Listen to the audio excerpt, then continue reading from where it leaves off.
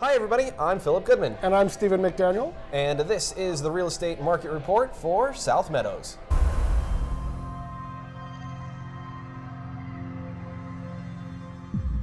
Stephen and I finally got outside the office to do one of our market reports again, and today we are at Zeppelin at the Loop. And Stephen, we've been waiting a long time for this place. We sure have, Philip. We've been talking about this since August, and this is a great addition to this area of town. We really needed something like this. Absolutely. Well, Stephen and I, instead of just looking at one month of activity today, we are going to look at three years worth of uh, real estate trends here in the South Meadows area. So while we're waiting for our food to arrive, let's take a look inside Market Insights. We are looking at single family homes and condos for the Reno South Meadows area over the last three years. The green line represents the single family homes and the blue line represents condos. We're only going to actually focus on the single family homes right now. If you want information about condos, definitely contact Stephen McDaniel. So, Stephen, some very noticeable trends in these annual cycles. Exactly. You'll see three specific bumps coordinating with this three specific years. You see the peaks and valleys. The peaks usually are happening in June and July, and the, and the, the low points are definitely happening December, January. This is common. This is a good snapshot of what's happening in a three-year cycle in this community. Something to look at is units sold by price range, and I wanted to bring this to the forefront of this because from an affordability standpoint, the highest category of homes being sold in this area is 300 to 399 thousand dollars over the last three years.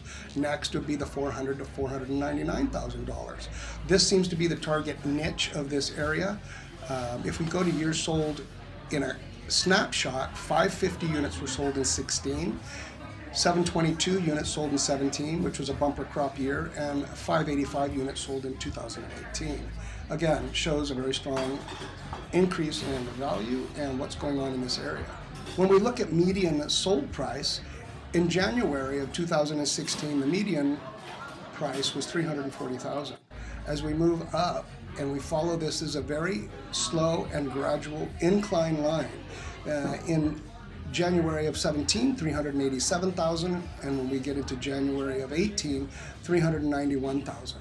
And as we concluded the year, the, the peak of that was 462,000, showing again a very steady increase in the median sold price in this area.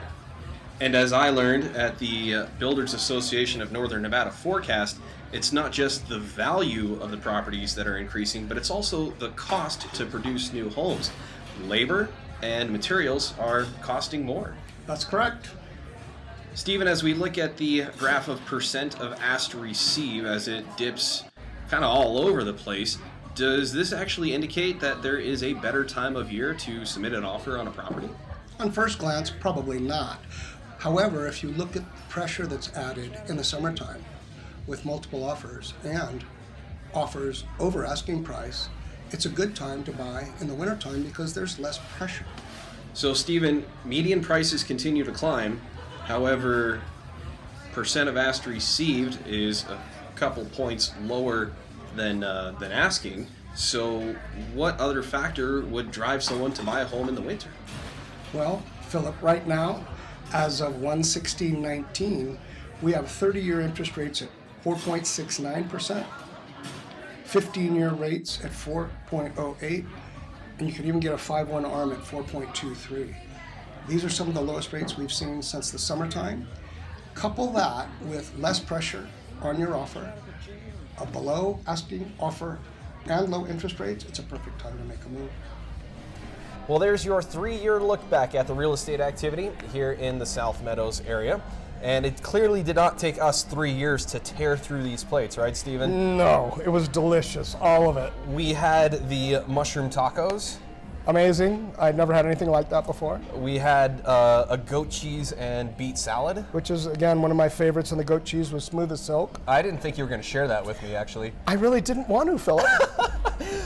we had portobello mushroom sliders with a crispy sweet potato uh, slaw thing. a good balance between the, pro- uh, the protein and the bun. It was delicious. And then the, uh, the coup de grace, the lamb pops.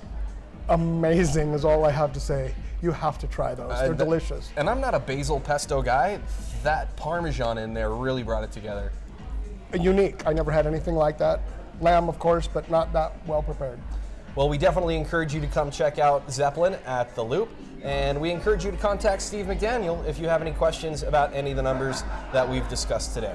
So for Stephen McDaniel and the Nevada Real Estate Group at Keller Williams Group 1 Inc. in Reno, Nevada, we'll see you next time, or we'll see you here at Zeppelin. Ah,